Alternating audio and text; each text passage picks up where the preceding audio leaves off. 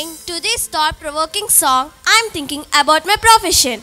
I want to become a doctor and heal the world. Shall I take up commerce? Then you can become an entrepreneur and create job opportunities to many. No, I'll choose to be the scientist. Scientist helps the nation to grow in every aspect. That's a logical idea. What's going on here? He is an agricultural scientist.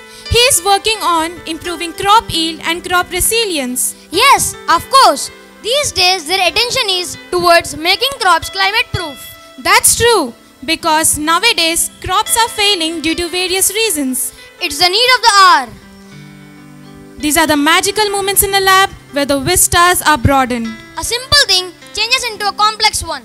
Amazing! Did you find the change? A colorless solution is now yellow. The color has changed again. Wow, the color red changed into green.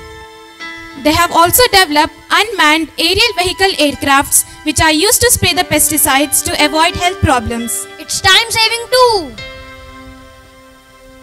She is a medical scientist. You're absolutely right, Krish. We really have to appreciate their endless efforts to improve and invent medicines for chronic diseases. They are doing their best to develop medicines based on biotechnology which is affordable. We are technologically sound, but still we strive for excellence. No doubt, they are the reason for increased life expectancy rate. Wow, a soldier! He is sharing something with the scientist of DRDO.